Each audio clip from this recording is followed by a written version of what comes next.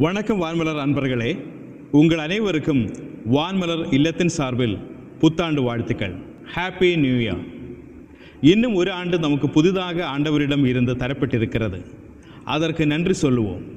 பழைய கலண்டரை தூக்கி எறிந்துவிட்டு புதியதாக ஒரு கலண்டரை சுவர்களில் மாட்டப் போகிறோம். தேதி எழுதுகிற எல்லா இடங்களிலும் இருபது என்பதற்கு பதிலாக இருபத்தி ஒன்று என்று எழுதப் போகிறோம். இப்படி சின்ன சின்ன மாற்றங்கள் வெளிப்படையாக தெரிந்தாலும் சாதாரணமாக பார்த்தால் இது இன்னும் ஒரு ஆண்டு. அவ்வளவுதான் என்று பல நேரங்களில் நாம் நினைக்கிறோம். ஆனால் ரெண்டாயிரத்தி இருபது என்னும் பழைய ஆண்டு இதுவரையில் நாம் சந்தித்த ஆண்டுகளைப் போல் அல்லாமல் நிச்சயமாக வேறுபட்டு நின்றது என்பதை நாம் அனைவரும் அறிவோம். பழைய ஆண்டில் நாம் சந்தித்த பெரும் தொற்று நோயின் நிழல் இன்னும் நம்மை விட்டு முற்றிலுமாக நீங்கவில்லை. இப்படி இருக்கும்போது புதிய ஆண்டை நம்பிக்கையோடு எதிர்கொள்வதில் நமக்கு சிக்கல்கள் உண்டு. புதிய ஆண்டிற்குள் நுழையும் ஒவ்வொருவரும் பொதுவாக சில விஷயங்களை செய்வோம். முக்கியமாக ஆண்டவர் இயேசுவை விசுவாசிக்கிற ஒவ்வொருவருமே கீழ்கண்ட விஷயங்களை கடைபிடிப்போம். முதலாவது நினைத்து பார்த்தல். இரண்டாவது மனம் வருந்துதல். மூன்றாவது புதுப்பித்து கொள்ளுதல். நான்காவது ஓய்ந்திருத்தல். பிரசங்கி பன்னிரெண்டாம் அதிகாரம் முதலாம் வசனத்தை பார்ப்போமானால் உன் சிருஷ்டிகரை நினைப்பாயாக என்று வசனம் கூறுகிறது. அதற்கு பிறகு வருகிற வசனங்களை வாசித்து பார்ப்போமானால் எனக்கு பிரியம் இல்லை என்று சொல்லும் தீங்கு நாட்கள் வராதன் முன்னும் கண்ணொளி இருந்து போவதன் முன்னும் என்று பல விஷயங்களை கூறி இவையெல்லாம் நிகழ்வதற்கு முன்பே அதாவது வாலிப வயதிலேயே உன்னை படைத்தவரை நினைத்துக்கொள் என்று வசனம் முடிகிறது. ரெண்டாயிரத்தி இருபத்தி ஒன்றாம் ஆண்டின் முதல் நாளில் நாம் இருக்கிறோம். இந்த ஆண்டின் இளம் பிராயம் இது. இந்த ஆண்டு முழுவதும் நமக்கு நிறைய வாய்ப்புகளையும் வசதிகளையும் ஆண்டவர் வைத்திருக்கிறார் என்பதை நாம் அறிவோம். அதே சமயம் சென்ற ஆண்டில் அனுபவத்தின் வாழ்க்கை என்பது எவ்வளவு அபாத்திரமானது என்பதையும் நாம் அறிந்திருக்கிறோம். நம்முடைய ஒவ்வொரு மூச்சும் நமது படைப்பாளரால் கொடுக்கப்பட்ட அற்புதமான பரிசு என்பதை மறந்து விடாதிருப்போம். ஒரு ஆங்கில கவிதையின் தமிழாக்கத்தை உங்களுக்கு தருகிறேன். கோடையும் குளிர்காலமும் இளவேனில் காலமும் அறுவடை காலமும் சூரியனோ சந்திரனோ வானத்து நட்சத்திரங்களோ கடவுளின் அன்பையும் கிருபையையும் உண்மையையும் பறைசாற்றுகிற இந்த இயற்கையோடு நாமும் இணைந்திருப்போம். மிகவும் சபிக்கப்பட்ட தொந்தரவுகள் நிறைந்த உலகத்தின் கடவுளின் படைப்பான இயற்கை நமக்கு ஆண்டவரை நினைவூற்றி கொண்டே இருக்கிறது. ஒவ்வொரு புதிய பருவமும் ஆண்டவரின் கிருபை நமக்கு உணர்த்துவதாக சாட்சியிடுவதாக அமைந்திருக்கிறது. எனவே சென்ற ஆண்டு எத்தனை மோசமானதாக உங்களுக்கோ எனக்கோ இருந்திருந்தாலும் நான் அதை கடந்து விட்டேன் என்றோ பாருங்கள் நான் எதை சாதித்திருக்கிறேன் என்றோ என்று சொல்லுவது சரியல்ல. நன்றி ஆண்டவரே என்பது மட்டுமே நம்முடைய பதிலாக இருக்க வேண்டும்.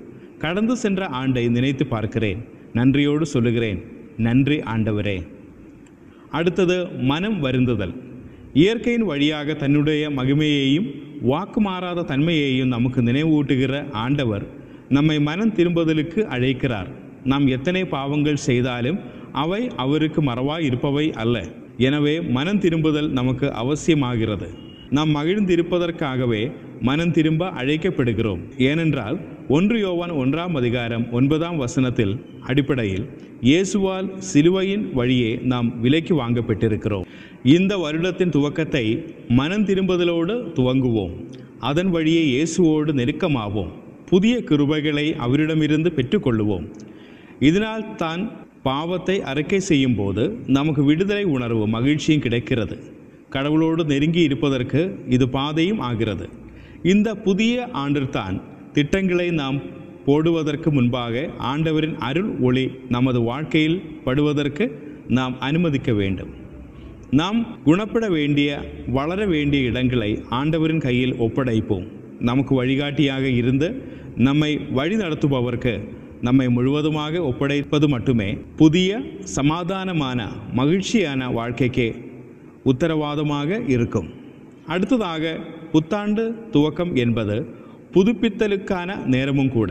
குடும்பம் திருமணம் திருச்சபை போன்றவற்றில் நமக்குள்ள அர்ப்பணிப்பு மற்றும் பொறுப்பை மீண்டும் உறுதி செய்யவும் புதுப்பிப்பதற்கும் இது சரியான நேரம். இந்த காலகட்டத்தில் நாம் செய்ய வேண்டிய முக்கியமான வேலை நம்முடைய குடும்பங்களில் உறவுகளுக்கிடையே குழந்தை வளர்ப்பு துணைகளை நெசித்தல். இவற்றை கடவுளின் கிருபையோடும் அன்போடும் தெய்வீக தன்மையோடு வளர்த்தெடுப்பதும் ஆகும். உறவுகளுக்கு இடையே ஒருவருக்கொருவர் மன்னித்தலும் குற்றம் செய்ததை ஏற்றுக்கொள்ளுதலும் கடவுளுக்கு உகந்த வாழ்க்கையை கட்டமைக்க உதவும் குடும்பத்தையும் குடும்ப பொறுப்புகளையும் விட்டுவிடுவது வெற்றிகரமான வாழ்க்கைக்கு உதவும் என்ற பொய்யை முழுவதுமாக விளக்குவோம். அதுபோலவே நாம் சார்ந்திருக்கும் திருச்சபைக்கும் நமக்குமான உறவுகளை புதுப்பிக்க பலப்படுத்த இதுவே சரியான நேரம். ஏனென்றால் திருச்சபையில் உள்ளவர்கள் ஒவ்வொருவரும் கிறிஸ்துவுள்ளாக நம்முடைய சகோதரர்களும் சகோதரிகளும் ஆவர். மேலே நான் சொல்லியிருக்கிற திருமணம் குடும்பம் மற்றும் திருச்சபை சார்ந்த கடமைகள் மிகவும் முக்கியமானதாக எப்போதும் நமக்கு தோன்றுவதில்லை. ஆனால் இவற்றில் நாம் காட்டுகிற முக்கியத்துவம் கால ஓட்டத்தில் நம்முடைய வாழ்க்கைக்கு மிகவும் பயனுள்ளதாக அமையும். கிறிஸ்தவர்களாக வெற்றிகரமாய் வாழ்வது எப்படி என்பதற்கு நம்முடைய வாழ்க்கையின் வழியே நாம் உலகுக்கு உதாகரணங்களாக மாறியிருப்போம். அடுத்ததாக ஓய்ந்திருத்தல்.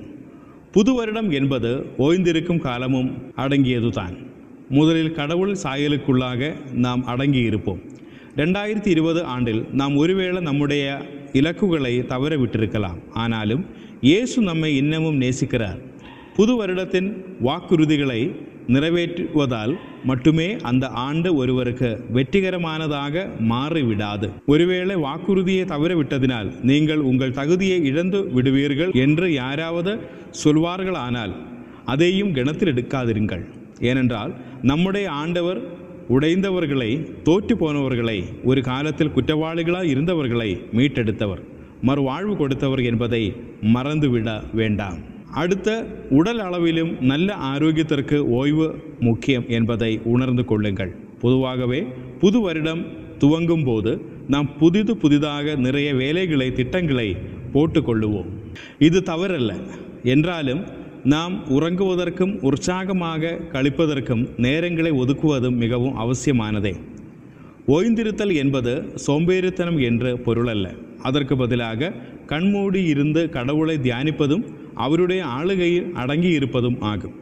நாம் தூங்குவது என்பது நாம் இல்லாமல் இந்த உலகம் இயங்க முடியும் என்பதை நாம் உணர்ந்து கொள்ளவும் தான். ஏனென்றால் உலகம் கடவுளை மட்டுமே சார்ந்திருக்கிறது. எனவே ரெண்டாயிரத்தி இருபத்தி ஒன்றாம் ஆண்டிற்கான திட்டமிடலை நீங்கள் துவங்கும் போது நம்முடைய தோல்விகளின் வழியாகவும் கூட நாம் ஆண்டவருக்கு அடங்கி இருக்கிறோம் என்பதை புரிந்து கொள்ளுவோம். பல நேரங்களில் நாம் திட்டமிடுகிறோம். ஆனால் அவை உறுதியாக இருப்பதில்லை. நம்முடைய எதிர்கால திட்டங்கள் உலகத்தை கையில் வைத்திருக்கிற அரசரான கர்த்தரின் கரத்திற்கு கீழ்ப்பட்டிருக்கட்டும். அவரது ஆளுகையே நமக்கு பாதுகாப்பு. எல்லா வருடங்களிலும் சவால்கள் இருக்கலாம். ஆனாலும் வருடங்களை உருவாக்கிய கர்த்தரின் ஆளுகைக்குள் எதையும் சமாளிக்க நமக்கு பலம் உண்டு. மீண்டும் ஒருமுறை வான்மலர் இல்லத்தின் சார்பாக உங்களுக்கு புத்தாண்டு வாழ்த்துக்களை கூறிக்கொள்ளுகிறேன். இந்த புதிய ஆண்டு ஆண்டவரின் ஆசைகளை சுமந்து உங்கள் இல்லங்களை நிரப்பட்டும். Happy new year